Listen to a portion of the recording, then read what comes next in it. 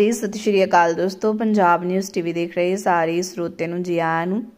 ਜੀਂਦ ਦੇ ਵਿੱਚ ਕਿਸਾਨਾਂ ਤੇ ਪੁਲਿਸ ਦੇ ਵਿਚਕਾਰ ਹੋਈ ਟਕਰਾਵ। ਕਿਸਾਨਾਂ ਨੇ ਮਿਰਚਾਂ ਪਾ ਕੇ ਪਰਾਲੀ ਨੂੰ ਲਾਈ ਅੱਗ।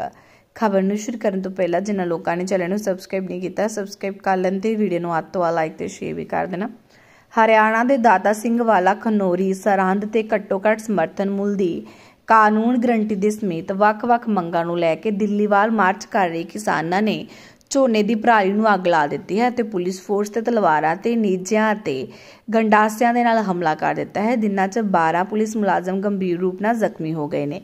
ਪੁਲਿਸ ਸੁਪਰੀਡੈਂਟ ਸਮੇਤ ਕੁਮਾਰ ਨੇ ਦੱਸਿਆ ਕਿ ਕਿਸਾਨ ਅੰਦੋਲਨ ਦੌਰਾਨ ਸ਼ਰਾਰਤੀ ਅੰਸਰਾਂ ਨੇ ਝੋਨੇ ਦੀ ਪਰਾਲੀ 'ਚ ਮਿਰਚਾਂ ਪਾ ਕੇ ਅੱਗ ਲਾ ਦਿੱਤੀ ਅਤੇ ਪੁਲਿਸ ਮੁਲਾਜ਼ਮਾਂ ਤੇ ਹਮਲਾ ਕਰ ਦਿੱਤਾ।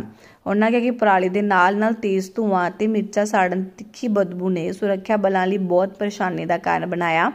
ਉਹਨਾਂ ਦੱਸਿਆ ਕਿ ਤਲਵਾਰਾਂ, ਨੀਚੇ ਅਤੇ ਗੰਡਾਸਿਆਂ ਨਾਲ ਲੈਸ ਕੁਝ ਪ੍ਰਦਰਸ਼ਨਕਾਰੀਆਂ ਨੇ ਪੁਲਿਸ ਤੇ ਹਮਲਾ ਕੀਤਾ, ਜਿਸ 'ਚ 12 ਪੁਲਿਸ ਮੁਲਾਜ਼ਮ ਗੰਭੀਰ ਰੂਪ ਨਾਲ ਜ਼ਖਮੀ ਹੋ ਗਏ। ਬਾਕੀ ਖਬਰ ਨੂੰ ਅੰਤ ਤੱਕ ਦੇਖਣ ਲਈ ਤੁਹਾਡਾ ਬਹੁਤ ਬਹੁਤ ਧੰਨਵਾਦ।